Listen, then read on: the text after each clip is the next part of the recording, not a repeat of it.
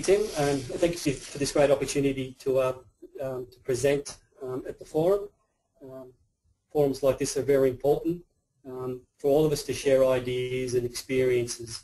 Um, you know, sustainability is an important social issue and there are most likely a perception that IT and computer rooms are the main culprits in the consumption of power. But I think we all know that better by a lot of the initiatives that we do in IT. So today, um, what I'd like to go through is, for those that don't know Foxtel, a brief introduction to Foxtel. I'd also like to cover some of the um, Foxtel environment in, in initiatives. Then I will go in um, and cover some of the, the green IT initiatives from the, from the IT perspective. And then the case study of cooling the computer room. Now, sorry, that presentation will be um, presented by um, Domler, um, who's um, planning and technical manager here and he's our champion for, for green IT. So Foxtel the company. Um, so Foxtel is one of Australia's most progressive and dynamic media companies. Um, we employ around 2,500 people and we deliver a, diverse subscription television service, both regional and metropolitan. Um, initially we were just um, uh, regional, but as of May last year, uh, through an acquisition, now we provide a lot of our content um, to regional subscribers. We provide this over cable, satellite and broadband distribution.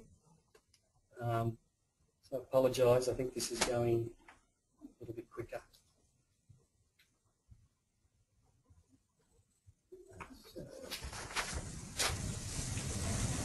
Um, let's just move on.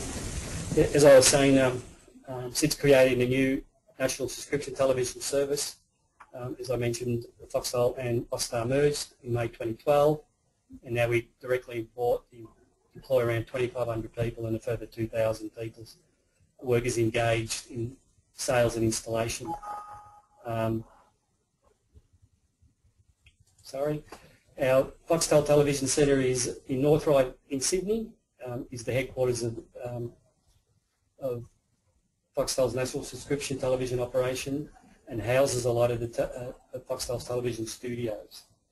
Um, uh, for those that don't know, is owned by 50% uh, Telstra and now News Corporation 50%.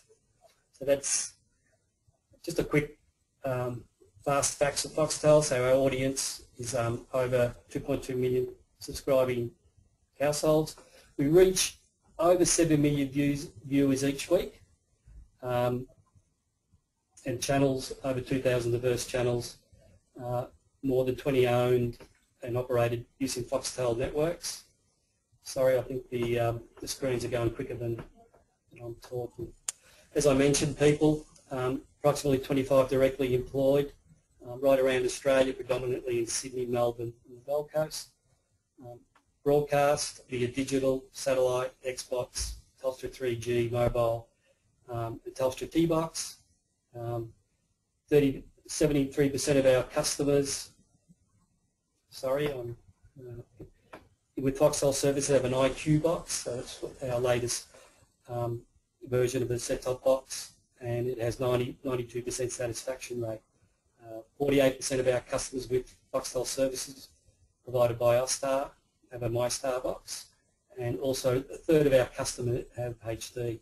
Our, our highest rating uh, program of all time was the, rug, the, the, World Rugby Cup in 2011 um, uh, between Australia and New Zealand. So just moving on to some of the Foxtel environment issues. Um, so Foxtel participates in News Corporation, who's 50% owned of our company. Um, sorry, it looks like it's screening.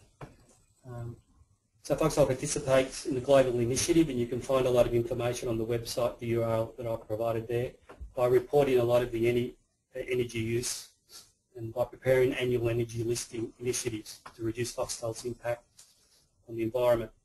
Uh, one of the interesting statistics, there uh, is that since in the fiscal year 2012, News Corp carbon footprint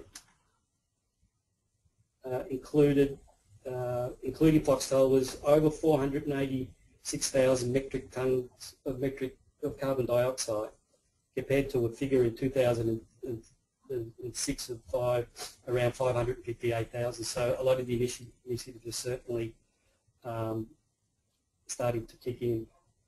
Um, so some of the other initiatives, so certainly implementing sustainable, sustainable IT practices as showcased and refined through weeks, uh, Green IT Weeks is one initiative that, to reduce energy use. So some of the other initiatives from a Foxtel perspective um, that we've engaged, we're certainly improving our data centre power usage in, Mel in the Melbourne data centre and Costin will talk a little bit more about that.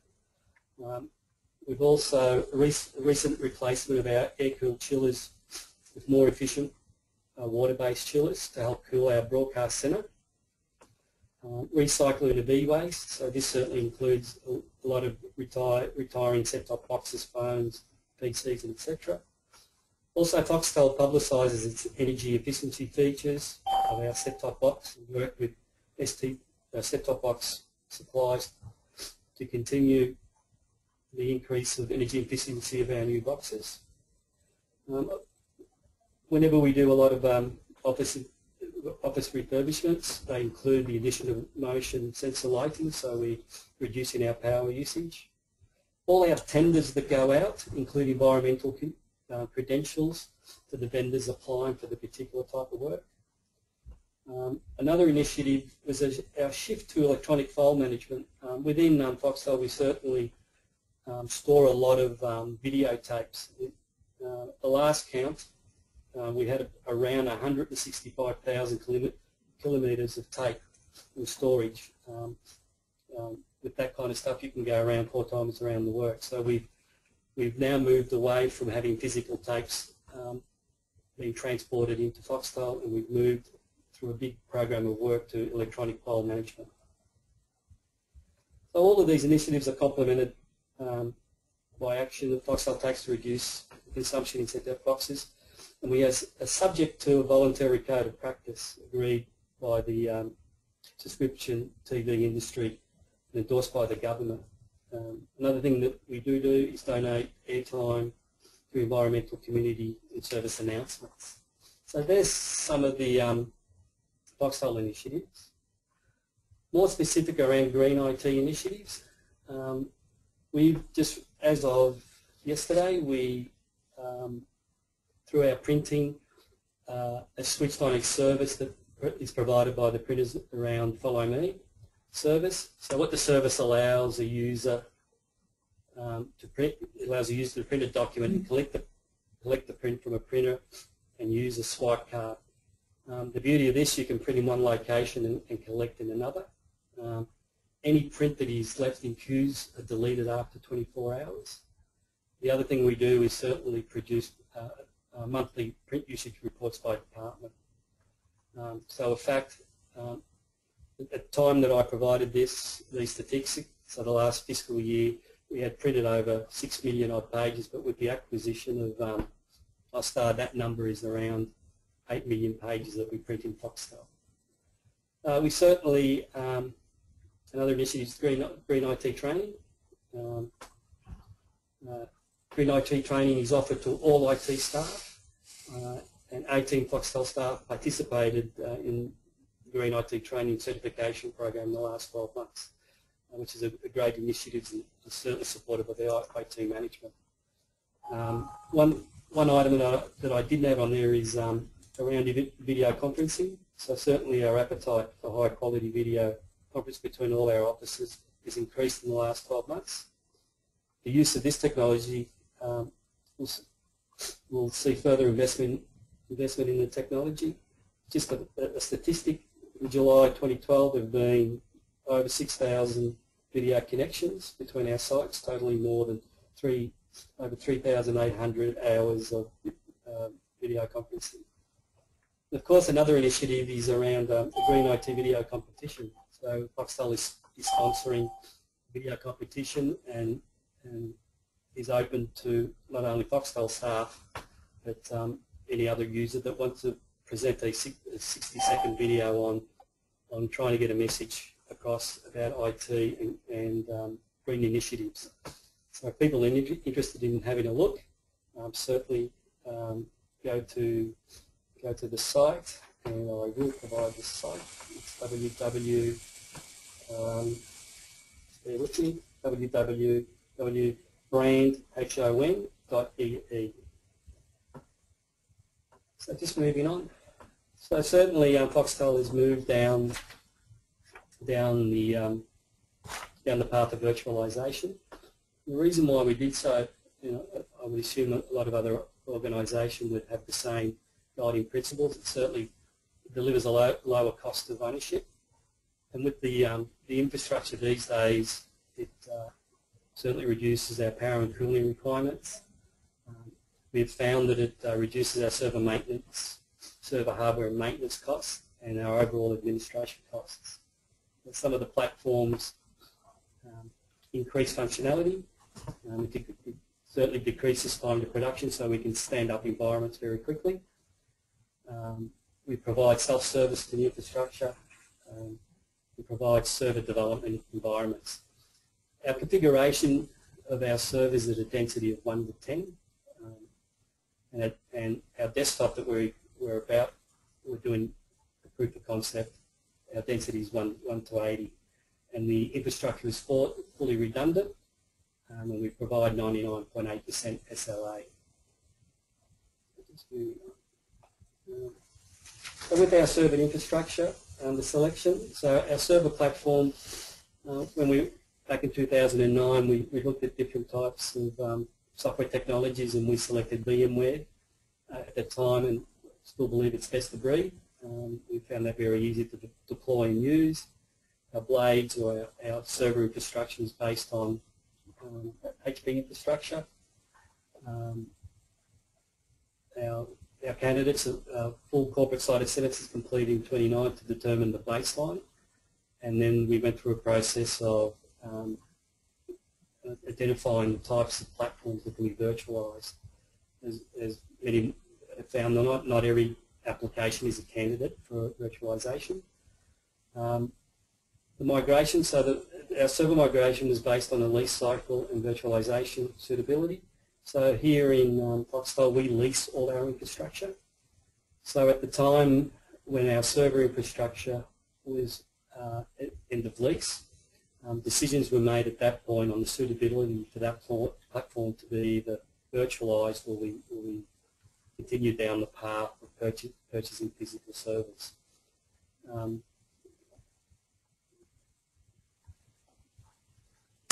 But this just gives an idea since 2009 and 2013 our path down virtualization down. Um, as you can see March 13 we've, we've got a, almost an equal balance of the number of physical servers on virtualized and the number of um, virtualized servers in our production, non-production environment. Um, what we've been able, certainly been able to do, represented what the, the grey graph is, we've been able to retire a lot of servers um, through this process.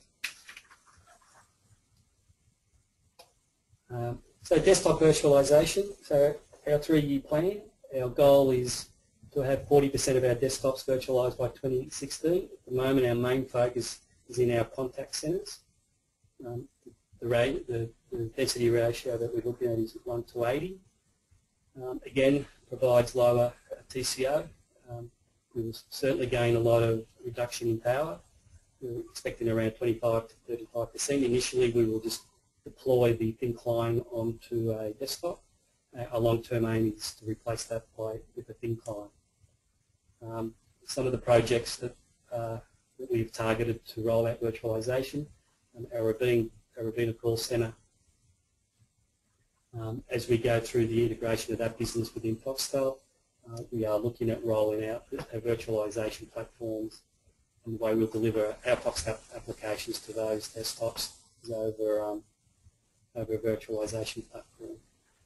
Uh, as I mentioned, we'll do the same here in Moonee Ponds, uh, which is a call centre. So that was a um, that was just a, a high-level overview of what we've done in I, IT from the Green Initiative. I'll now hand over to Costin, who will take us through our case study. So this is cooling the computer. Thank you, Frank. Um, we uh, began our um, uh, uh, exercise of trying to reduce our PUE uh, a few years ago, and I just want to go through some of the, uh, the steps that we went through to reduce the, the PUE. And the slide just explains uh, what a PUE is for in case people were wondering how to calculate it. Um, we, what we did was we, we sealed off uh, all, all, the openings within the raised floor to minimise the air leakage through the raised floor. Then we replaced all of the grills with new grills that had adjustable baffles in them. Um, where we had no equipment, we installed blanking plates where racks were not fully populated. We converted the data center air conditioning units that were belt-driven fans to EC fans. And uh, we uh, also installed a cold aisle containment to minimize the mixing of the supply and the return air. This allowed us to increase our air conditioning set, return air set points from 22 degrees centigrade to 25 degrees, uh, which allowed us to reduce our PUE from 1.7 down to 1.5. Um, the graph uh, that, that we have here, it just shows that at the beginning you'll see in March 11 how close uh, it is, the, how higher it is for the air conditioning kilowatt usage in the computer room where it actually gets lowered and it's main, it remains stable even though the UPS load within the computer room has increased. Um, these slides actually show where we had some existing aisles that we converted into a cold aisle and uh, this this one is actually a new set of racks that we installed with the cold aisle containment already planned. So Tim, that um, concludes our presentation. Fantastic. Thank you so much, guys. I really appreciate your contribution today. Fantastic. Thank you so much, guys. I really uh, that's great. So now at this point, we will move on to the live Q&A portion of today's session. So if you do have any questions uh, for Frank or Koska that you'd like to submit, please do so now in the GoToWebinar control panel, which you'll see on your screen. There's a question, or it may be called a chat panel. Please feel free to insert any questions you have there. The first question we'll kick off, uh, Frank, straight away is, uh, so let me just change the screen quickly.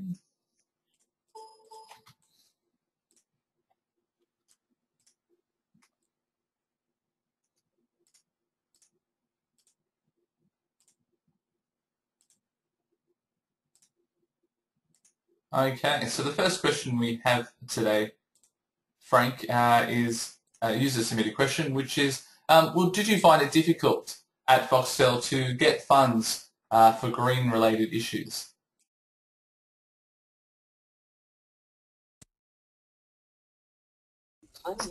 So uh, I wouldn't say difficult. We over the last 12 um, or even 24 months from an, I, an IT perspective, we, we have certainly submitted business cases that are, are directly attributable, to reducing our green um, our PUE. Um, the, the example that Koskin gave about the cold aisle containment, that was part of a business case.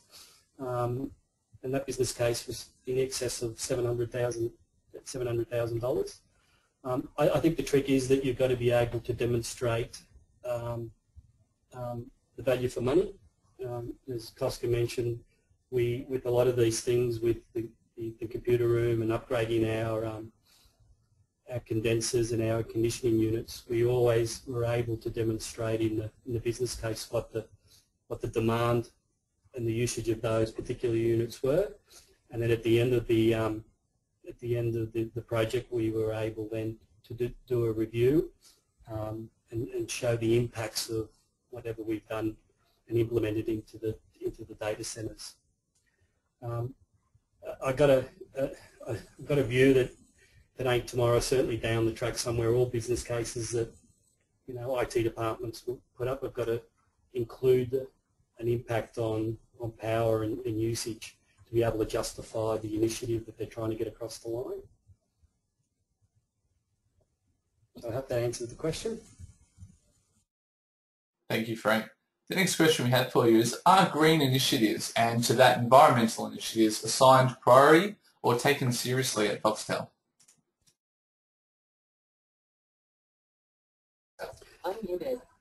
Um, they certainly are. Um, we've got a, a, committee, as I mentioned, that, we, that reports into, into, news, into News Corp. Uh, committee meets, uh, I think, on a quarterly basis and it's got a, a, a wide range of initiatives um, and the initiatives are given priorities. Uh, certainly, as we have grown as an organisation, um, and a lot of the buildings are starting to age, we've had to step back and have a look at the a lot of the plant and the effectiveness of the plant. So uh, priority has certainly been given to those projects and funds being provided to upgrade a lot of those um, mechanical plants here in Melbourne. Um, we were able to get prioritised the upgrade of all our switchboards to be more more efficient and likewise in our North Ryde um, premises we've gone through the, the, same process of upgrading all our switchboards and, and changing cooling towers. Um, so we, we, certainly do take it seriously. Um, we report back, as I as mentioned earlier to news, we've got targets that we have to meet. Um, so uh, so those kind of initiatives are, are certainly taken seriously and given priority.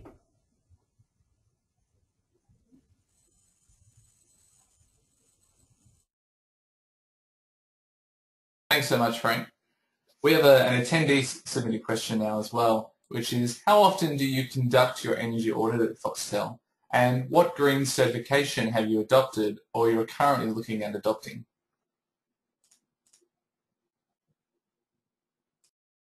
Unmuted.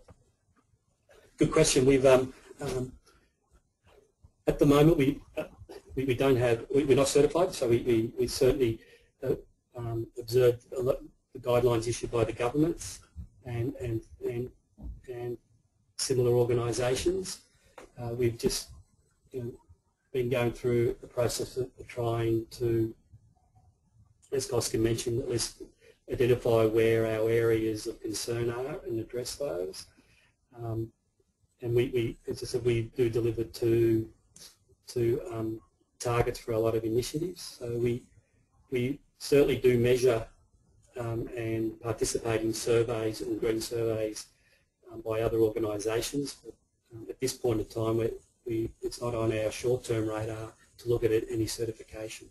But, but in saying that, somewhere I would believe down, further down the track that um, we would we would be looking at um, sort of a kind of certification. Thanks, Frank. The next question we have from an attendee is, you mentioned that all IT staff had training in green IT. How was this initiative implemented and accepted by the staff? Unmuted. What I misled, it was offered to all IT staff. Um, um, eight, 18 at the time participated and, and were certified. Uh, staff certainly uh, jumped to the opportunity. It was supported um, by our CIO, Robin Elliott. Uh, uh, we had a lot of replies um, and, Pete and a lot of the staff are keen to pursue, even further pursue certification um, as part of the training. Um, as part of our IT Green Week here, people have certainly uh, been very enthusiastic, enthusiastic sorry, um, in participating, um, providing a lot of initiatives um, from the not just not just from the IT staff, but, um, outside. so yeah, we we, we take it seriously. We, we provide the opportunity and people have certainly responded quite well to that. It's only early days uh, um, and we, we certainly encourage people and give them time to be able to, to participate in the cert certification and the examinations that they need to do.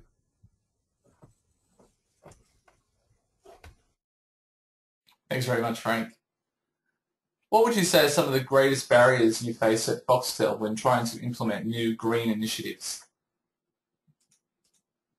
Unmuted. Good question. First comes to mind would be money. um, look, it's like anything, it's priorities. Um, it, it's the it's the way um, the initiative uh, is it's submitted. Uh, with a couple of things. Uh,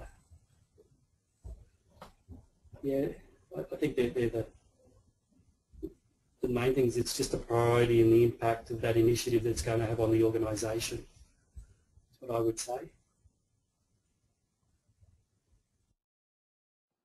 Thanks, Frank. Uh, the next attendee question is, uh, what kind of paper sav savings did you see with implementation of Follow You printing? Unmuted. Yeah, we've only um, we've only launched that uh, yesterday, the third of June. So it was a it was a an initiative was part of our IT Green Week initiative. Uh, so we will we certainly certainly do have the capability of measuring all the um, of the print usage. The, the the service or the platform also provides the capability to um, display the uh, the cost of print for, for excuse me every time somebody prints. Um, so at this point in time, um, you know, we're only two days into the service. It's only been rolled out in, in two of our centres, so it's a bit early yet. But um, we'll be happy in 12 months' time to um, to share that information. Thanks, Frank. In regards to uh, leading on from the barrier question, who are the main stakeholders within Foxtel or within any organisation that you feel you need to include to get their buy-in uh, to ensure a, a smooth implementation of any new green or sustainability related strategy? Unmuted. Yep, certainly it's got to start from the top. So in in um, our sustainability committee, committee, our COO um, certainly um, participate. Our CIO certainly participates. Um, our direct executive of, our products, so we, we, certainly give buy-in at the highest level, um, and that way there is, you know, can I get the buy-in at, at that high level? You know, it's pretty hard, I, I believe, to to get initiatives through. So um, yeah, we we've got representation the executive and all, a lot of the op different operational managers across um, the organisation, not only IT but our product teams. A lot of the set-top box development sits within our product teams, um, so they they certainly participate um, in in our committee and likewise with our building services for all our premises. I certainly say it needs buy-in from the from the highest level. Thanks, Frank. Well, I guess evolving from buy-in uh, from management and CIS staff, what other recommendations would you give to other organisations who are looking to implement similar green programs? So what are your key learnings?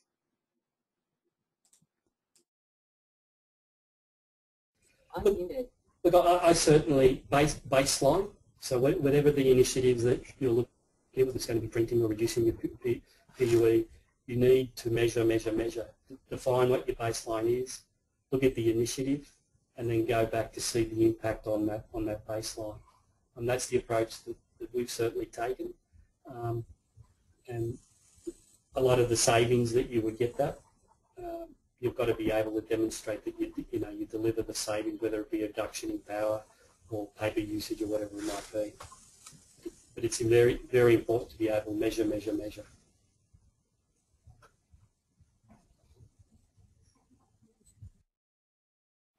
Thanks, Frank. next question is, can you tell us what other activities do you do at Foxtel in uh, relation to green IT? Is there a video competition or anything else that you may have implemented recently that might be of interest?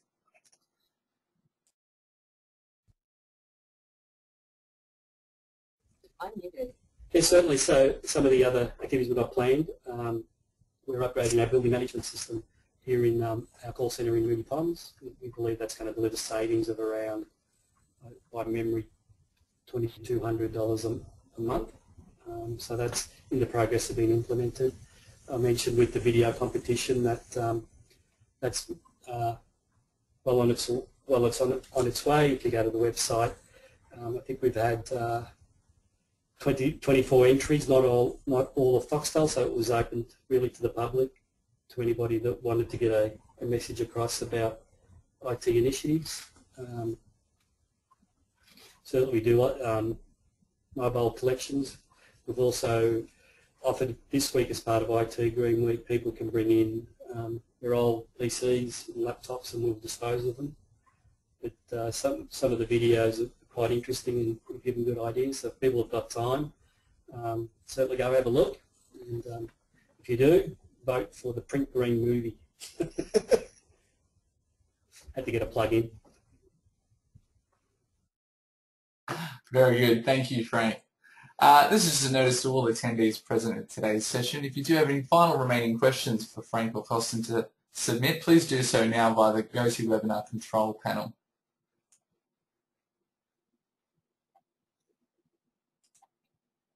So another question we have, Frank, for you today is, if other organisations are also implementing green strategies, do uh, do, sorry, do you organise, uh, sorry, do you enter into conversations with other like-minded organisations around similar green IT initiatives that you may be implementing and being able to share key learnings, or is this something you may be looking to do in the future? Unmuted. I think we'll be looking at in the future, Tim.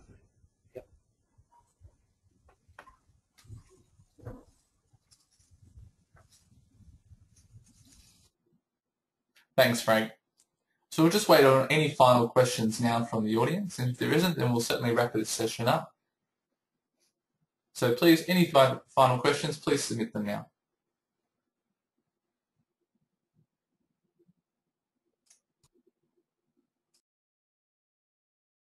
Unmuted.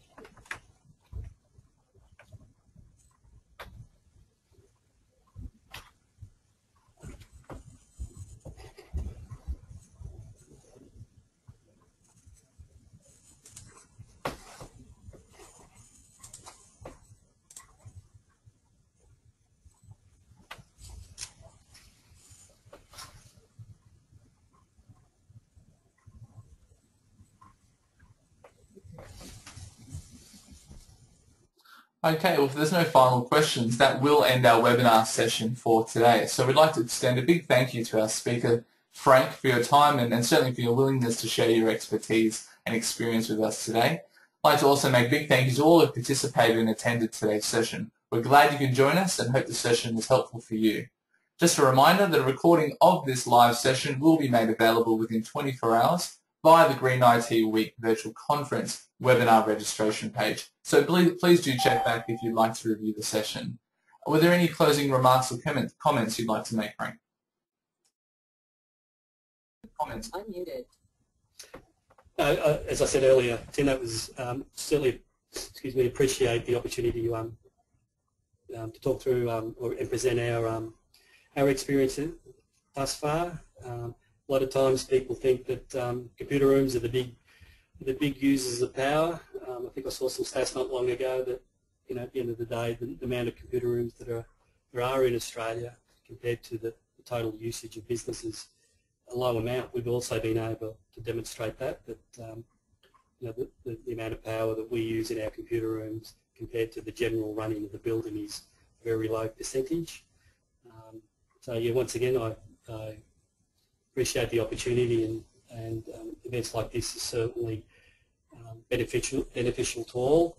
Um, gives people at least an insight to some of the opportunities um, that uh, an organisation can, can take up. We're more than happy to uh, um, offline, you know, take any other questions or, or walk through any of our other initiatives. So thank you, Tim. Thank you. Great. Thank you very much, both Frank and Costin, for your um, wonderful attention in your session today. Uh, just a reminder, if you do have any questions that you'd like to direct towards Frank, you can uh, direct them to his email at frank.palermo at foxtel.com.au. And alternatively, if you wish to speak to a uh, Foundation for IT sustainability representative, you can direct any emails to info at fits That's double F-I-T-S. So with that, that will conclude our session for today. Once again, we'd like to extend a big thank you to Frank McCostin for joining us and also to our attendees for participating uh, in today's live Q&A session. Thank you again and please do enjoy the rest of your day.